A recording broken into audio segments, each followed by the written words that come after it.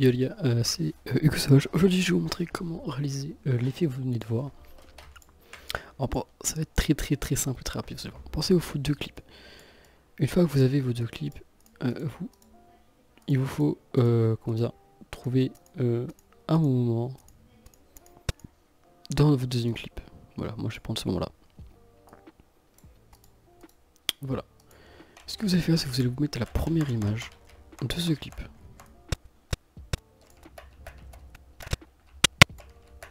Moi du coup la première image c'est celle-ci voilà. Là ce que vous allez faire, vous appuyez sur l'appareil photo là, vous allez faire importer dans le projet, vous cochez bien la case, vous faites OK.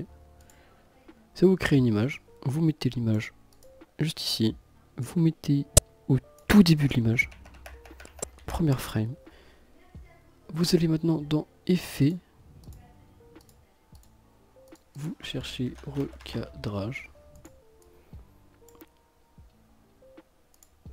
Et vous venez détourer euh, votre personnage. J'ai pris un personnage Minecraft pour ma part, Euh, je vais venir détourer ça. Euh, je vous passe le détourage. Voilà, du coup, vais faire le détourage très très très très très rapide pour vous montrer. Maintenant, ce que vous allez faire dans option d'effet, vous allez cocher la case inversée. Contour progressif du masque, vous mettez 0%, et dans gauche, vous mettez. Enfin, combien? Contour progressif du masque 0%, et gauche 100%. Alors, vous allez obtenir ça. Euh, c'est tout simplement euh, un masque. Et du coup, il ne vous restera plus qu'à chercher un effet. Effet qui s'appelle Ecto. Il faudra télécharger le plugin Uni-Ecto. Sinon, vous ne trouverez pas l'effet.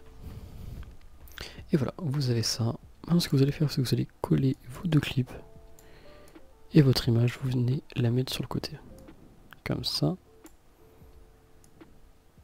Ok, là du coup ce que je vais faire c'est que je vais euh, faire un rendu de l'image pour vous montrer à quoi ça ressemble. Les gars, euh, je vais vous montrer coup ce que ça donne.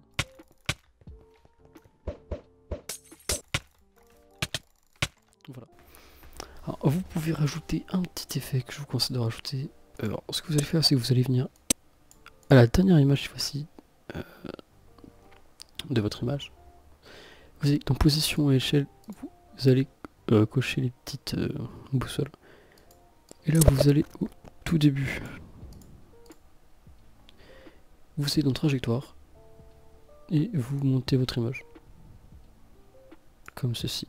Je vous refais un rendu et je vous montre le résultat. Ça va faire une transition super cool. Voilà, tout. Voilà, du coup, j'ai fini le rendu. Je vais vous montrer à quoi ressemble la transition maintenant.